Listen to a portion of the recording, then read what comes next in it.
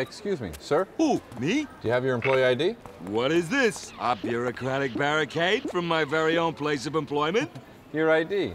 Do you have it? I must have left it in my other fur. Now, if you will excuse... Nobody gets through without their employee ID. Okay, okay. Let's remember, I am a government-protected woodland creature. Good morning. Good morning, Mr. Boo Boo. Lovely day. Hey, hey, boo-boo. Tell these fellas I'm with you. Sir, I can't let anyone enter this area without their employee ID. Surely you fellas know who I am.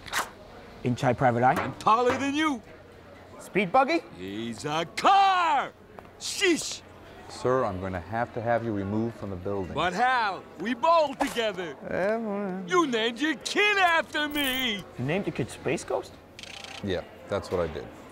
I'm going. I'm going. Cartoon Network, the best place for cartoons. Red guy? Six feet, male. I am the weasel? Fur.